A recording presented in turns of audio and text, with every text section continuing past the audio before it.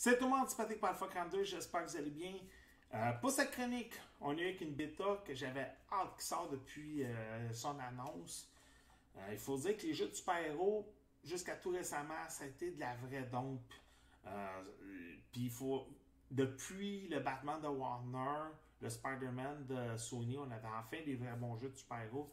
Alors le fait de voir Marvel s'associer avec Square Enix, slash Eidos Montréal, slash Crystal Dynamics pour nous pondre un jeu des Marvel euh, Adventure, j'ai hâte la bêta. Euh, j'ai joué à la bêta du 14 août dernier. Puis au moment de faire cette vidéo-là, il y a une bêta ouverte au public qui va sortir du 21 au 23 août. Euh, en passant, je vais faire malheureusement beaucoup de liens avec Marvel Spider-Man pendant cette vidéo-là. Je vais mieux vous avertir tout de suite, vous allez comprendre pourquoi plus tard. Donc, comme je vous ai dit, on met de côté les MCU, on s'en va dans un autre univers. On est à San Francisco, c'est le A-Day. On veut euh, célébrer les super-héros euh, des Avengers. Euh, on a, bon, cinq héros dès le début. Une sixième va se rejoindre dans l'histoire. On a Thor, Iron Man, Hulk, Black Widow, Captain America. Puis il y a Miss Marvel, Kamala Khan qui va se joindre plus tard. Euh, pendant les célébrations, malheureusement, Taskmaster lui décide non, non, il n'y aura pas de célébration, on va vous gâcher ça d'aplomb. Euh, avec une bombe bactériologique. Euh, pendant que Captain America est sur le porte-avions, le Queen Jet, en tout cas, je ne me rappelle plus du nom d'un coup, le porte-avions du Shield, c'est de défendre le porte-avions les autres Avengers sont sur le Golden Gate, puis eux autres essaient un peu de ralentir Taskmaster. Ça se passe pas comme qu'il aurait prévu. Il y a une bombe bactériologique qui va exploser. Une Shinra, qui est comme une pouvoir qui est dans euh, le porte-avions du Shield, va exploser. Ça va faire que le peuple de San Francisco va se transformer en humain. Donc, Kamala Khan. Euh,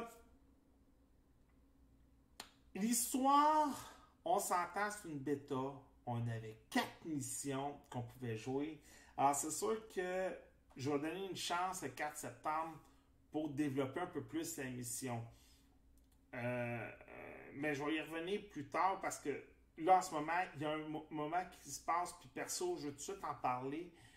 Euh, les, les contrôles des personnages, les armes des personnages, ça, c'est un balancé. Il y en a qui sont super le fun à manipuler dès le début, puis il y en a qui sont super mauvais à manipuler dès le début, puis il y en a qui c'est super nerd. Hulk et Thor, sérieux, c'est plus le fun à manipuler. Euh, les contrôles sont super faciles. Black Widow, à part contrôler des guns, ne fait pas grand-chose. Perso, c'est pas le personnage le plus utile des Avengers. Et Miss Marvel, je reviendrai plus tard. Euh, puis bon, Captain America, euh, que tout le monde le sait, qu'est-ce qui va se passer avec. Euh, Iron Man, pas mal neutre. Parce que perso, il n'y a rien. Il manque de gadgets. Euh, je vais peut-être. Pour l'Iron Man, Iron Man Cool, c'est sûrement la version du jeu euh, VR qui est sortie dernièrement. J'ai pas la chance de jouer à cause de ma vision. je vais me baser sur la critique de Steve Tremblay de le salon de M. Smith. Je sais que lui et moi, on a quand même pas mal les mêmes opinions sur ces jeux vidéo. Fait que je vais me baser sur sa critique qui va sûrement sortir bientôt.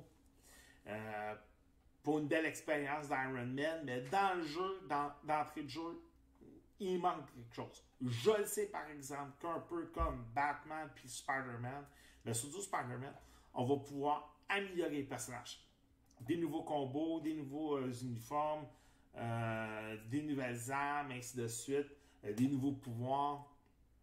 Fait que ça, je sais qu'on va s'en aller beaucoup dans ce chemin-là avec Marvel Major. De toute façon, tous les jeux d'aventure maintenant, on, s'approche un peu du RPG, qu'on peut améliorer nos personnages.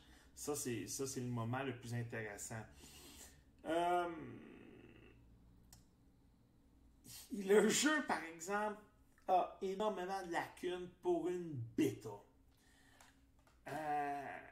Bêta slash démo, on sait pas trop ce qu'on s'en va parce que perso, le jeu, pourrait être fini, puis pourrait sortir de toute façon à la date où la bêta sort, puis avec le temps qui reste alloué au jeu, sérieux, s'ils veulent faire des améliorations, ça va être lourd là, à télécharger la mise à jour, ou le temps va être vraiment short et, la gang d'Eidos Montréal et Crystal Dynamics vont devoir travailler fort.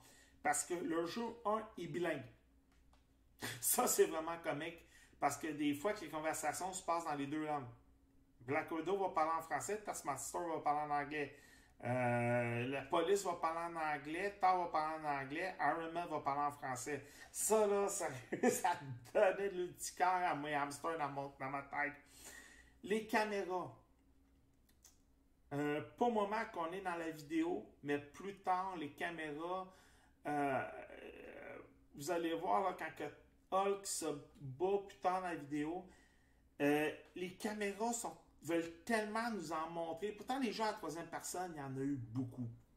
Sauf que la caméra bouge tellement, elle est tellement instable euh, que c'est difficile de tout suivre l'action. Il y a tellement d'ennemis qui arrivent en même temps que des fois, on voit notre personnage, mais on ne voit pas nos adversaires. Alors, c'est assez difficile d'avoir le contrôle sur le combat. Et ça, c'est un peu le petit défaut. Euh, sauf que là, bon, comme tout jeu dans ce genre-là, on a des power moves, on a des combos. Euh, vous allez avoir des cinématiques de combat, en tout cas, whatever, ça vous le voyez justement. Fait qu'on utilise pas mal tous les, les, styles de combat propres au jeu d'aventure d'aujourd'hui ça, on a été du bon côté. De toute façon, Eidos Montréal, Deus Ex, euh, Crystal, euh, Eidos, Crystal Dynamics, Tomb Raider, Hitman, je pense que depuis une dizaine d'années, les, deux studios font du très bon travail sur les ailes de Square Enix avec euh, ces trois franchises-là. Fait qu'ils ont comme plus besoin de, de, de présentation sur table. Mais vu que c'est une bêta, je vais encore donner une chance pour le 4 septembre. Surtout de côté histoire, vu qu'on a juste 4 missions, on n'a pas le temps encore de tout développer. Fait il y a encore beaucoup à faire là, vu que c'est une bêta démo. Et justement, pour l'histoire, on a beaucoup de travail à faire parce que on a inclus Miss Marvel, qui est personnellement le personnage le plus froid ou la plus froide de tout l'univers de Marvel. Euh, tu sais, j'aime mieux. Euh, euh, il y a plusieurs personnages. J'aime mieux Miss Cradle que Miss Marvel. Perso, là. je sais pas pourquoi on a inclus Miss Marvel, Kamala Khan, dans, dans cette histoire-là. Je sais pas pourquoi. Sérieux. J'espère que Square. J'espère que les, trois, les trois compagnies vont réussir à enfin la vendre parce que euh, Marvel n'ont jamais réussi. Le graphisme, il y a encore beaucoup de travail à faire. Euh, les personnages, étrangement, malgré qu'on veut se détacher du MCU, les costumes, l'univers, le style graphiste, ça rapproche beaucoup MCU. Sauf que on le sait.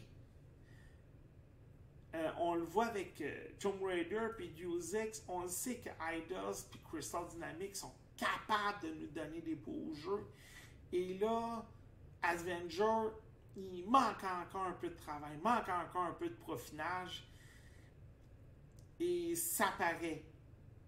Et j'ai hâte au 4 septembre pour voir ce que ça va donner ce travail-là. Je suis désolé, je vais, me répéter souvent pour certains éléments. Et il y a également la carte. Bon, là, vous ne le verrez pas à ce moment-là. Vous allez voir un peu quand j'ai commencé la première mission avec Hulk. Euh, je, le donne en mille pendant la bêta qui va être ouverte du 21 au 23. Euh, vous allez voir pendant Hulk, justement là, on n'a pas de carte, on n'a pas de boussole, on n'a rien. Fait c'est assez facile également de se perdre. Il y a tellement d'endroits où il y a des murs invisibles, où il y a des pierres, où il y a des murs à l'infini. surtout dans la forêt, puis même encore, pas juste dans la forêt, euh, dans, dans, la base où on devrait trouver Jarvis, que je me perdais facilement. Tu sais, je suis habitué avec une boussole à star, je suis habitué avec une carte qu'on peut se retrouver. Euh, et là, il n'y a rien de tout ça. Tu dois te débrouiller par tout seul. Tu essaies de trouver tes points de repère. Il n'y en a pas. Et ça, perso, c'est un méga défaut. Et je le sais, ça, malheureusement. Tu sais, contrairement au graphisme, contrairement à l'histoire dans la bêta, je pense pas qu'on va nous rajouter une carte le 4 septembre. D'après moi, on va nous garder ça, ce petit côté faux open world, euh, ligne directrice, qui sera pas là. Euh, le jeu en tant que tel est bien, mais j'essaie de me garder dans la tête, c'est une bêta. Alors, c'est sûr que je vais me faire une vraie critique quand le vrai jeu va sortir. Euh, je vais être peut-être un peu moins difficile quand le jeu va sortir parce que je vais me dire OK, c'est le produit fini, voilà ce qu'il va avoir sur la table et tout. Mais en ce moment, au moment de faire la vidéo, le jeu X apparaît qu'il a encore de la job à faire. Contrairement à Marvel Spider-Man, que dès les premières heures, on avait un beau jeu complètement fini avec une story qui était géniale, qu'on savait où qu'on s'en allait dès le début, qu'on utilisait tous les personnages sans problème. Là, on dirait qu'il va manquer quelque chose et c'est ça qui, va être dommage pour Marvel Adventure. En tout cas, je vais me répéter encore. 4 septembre, la sortie officielle. Au moment que vous allez peut-être regarder cette vidéo-là, 21, euh, euh, dès le 21 août, vendredi 21 août, il y a une bêta ouverte pour vous laisser euh, faire votre propre opinion. Moi, c'était la mienne, bien entendu, mais perso, ah, il manque quelque chose. J'espère que vous avez aimé cette vidéo un like, un partage, commentaire, c'est toujours très apprécié. Merci beaucoup de m'avoir regardé. On se retrouve une prochaine fois. Ciao!